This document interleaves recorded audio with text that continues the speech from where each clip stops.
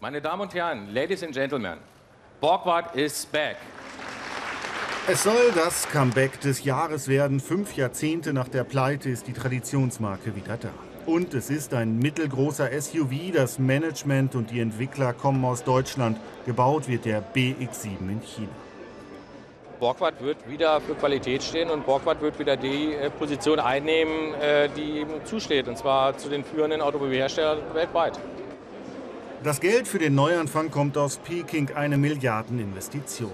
Mit knapp 30.000 Euro soll es ein vergleichsweise günstiger Geländewagen werden, ein Auto für die aufstrebende Mittelschicht in China, Indien und Südamerika.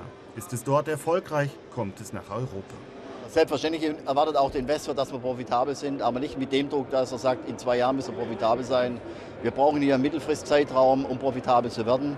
Das hängt mit Sicherheit jetzt auch über die Entwicklung der Märkte ab, wie sich China weiterentwickelt und die anderen Märkte, wo wir mit diesem Fahrzeug im Markt eintreten. Eine alte Marke nach Jahrzehnten erfolgreich wiederbeleben, das hat es so in der Automobilgeschichte noch nicht gegeben.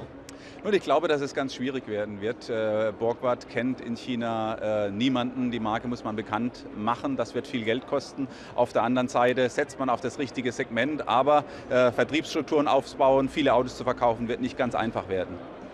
Nach der Messeshow sind die Kunden dran, denn sie entscheiden, ob das Borgward-Projekt tatsächlich ein Erfolg wird.